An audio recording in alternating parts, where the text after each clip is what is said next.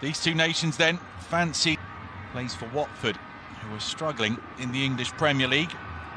The long ball by Troost-Ekong, well dealt with by Egypt, and here's Fatu.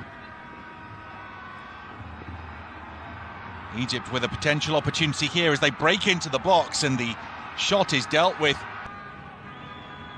Oh, lovely footwork here from Iheanacho.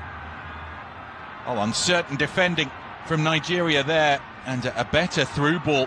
And Trezeguet would have been through one-on-one with Egypt's midfielders.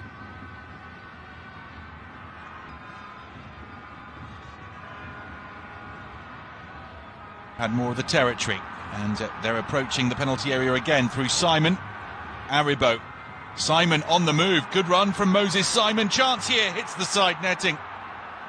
Nigeria's first big opportunity, and some of their supporters inside the stadium saw the net below and thought it was in.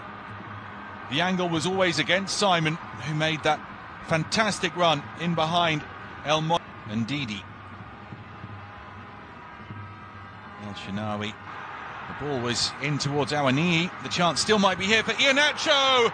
And what a finish that is by Kelechi Iheanacho to give the Super Eagles of Nigeria the lead against Egypt.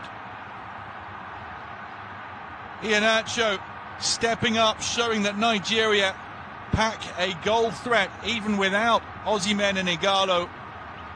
He has become a senior man, Kelechi Iheanacho.